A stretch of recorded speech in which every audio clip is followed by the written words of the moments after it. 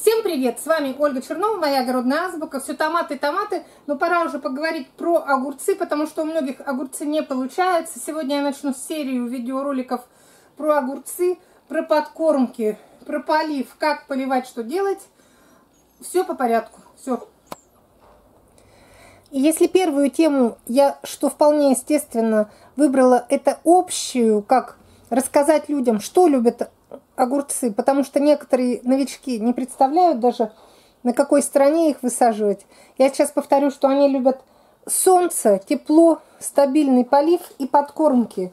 И вот вторая тема, которую я выбрала, это, конечно, подкормки. Вот смотрите, столько много завязи. Видите, маленькие огурчики. Если мы заглянем туда, даже у меня в бочковом варианте, то есть, ну как, в стесненных условиях, сейчас я разгребу, вы увидите, что огромное количество навязали огурцы завязи. Подождите, я подберусь. Видите? Огурец на огурце, огурец на огурце. Вы видите, что весь ствол унизан завязями. И если кто-то думает, что они просто так, сами по себе такое огромное количество плодов, как увеличатся в размере и вырастут, все превратятся в огурцы, то вы ошибаетесь. И тут уже начинаются вопросы, вот кто так же, как и я, рано высадил, кто-то уже и кушает огурцы.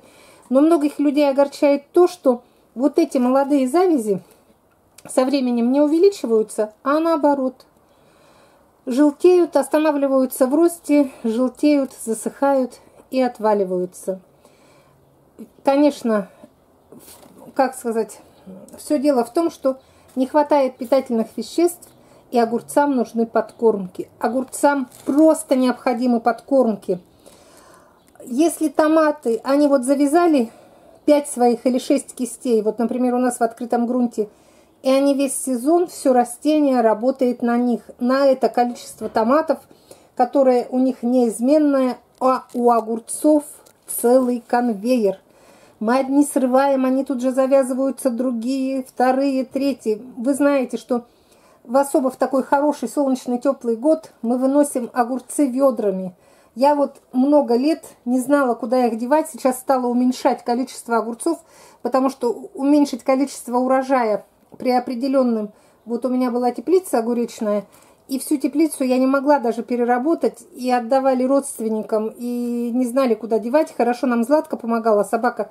Кавказская овчарка была вегетарианка, она очень любила огурцы и кабачки, и вот она все поедала. Сейчас я уменьшила, потому что живем вдвоем. Но я хочу подсказать тем, у кого, кто хочет много огурцов, у кого большая семья, кто любит соленые огурцы. Хочу рассказать, что самое главное – это подкормка. В отличие от томатов, еще раз повторю, огурцам не только не противопоказаны, а даже показаны вот это азотосодержащие подкормки, всякие натуральные, дрожжевые, все. Но сразу хочу отметить, что предпочтение нужно отдавать все-таки органическим подкормкам, натуральным подкормкам.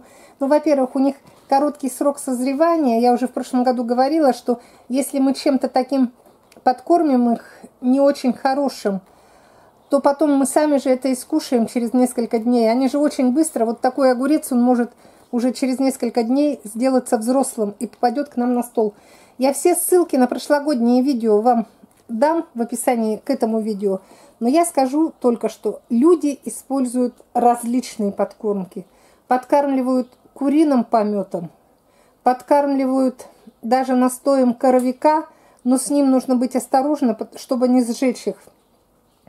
Подкармливают золой, подкармливают настоем луковой шелухи, подкармливают дрожжевыми различными вот этими брашками, травяными настоями. Все идет в ход с огурцами. И тут мы не должны бояться, что мы переборщим, или что мы их перекормим, или что они зажируют.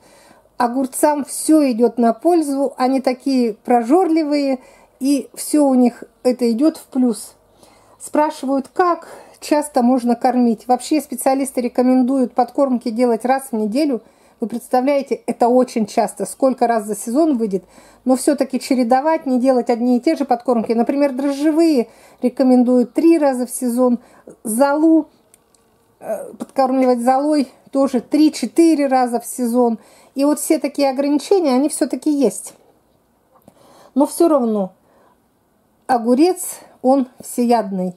Можете подкормить хоть чем. Подкармливают настоем хлебных вот этих корочек. Все отходы со стола с нашего идут в корм огурцу. Из всего этого потом получаются вкусные хрустящие огурчики.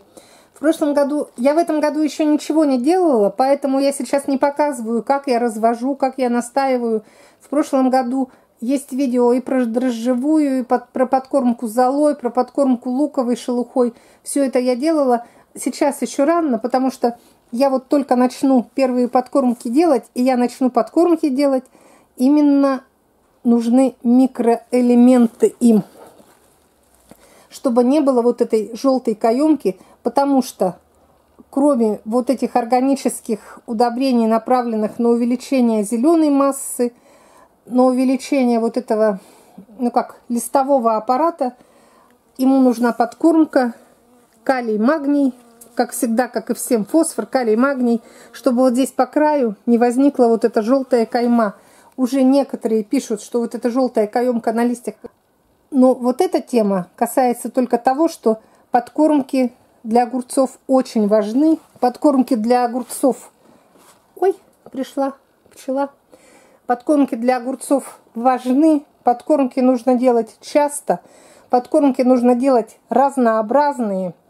Подкормки нужно делать с уклоном на натуральные вот эти вот органические добавки. И тогда у вас я, ну как, я уверена, тогда у вас будет урожай огурцов отменный, огромный, и тогда все ваши вот эти вот молодые завязи с успехом превратятся в полноценные огурчики. Все. Следующая тема будет, как поливать огурцы, чем поливать, как часто.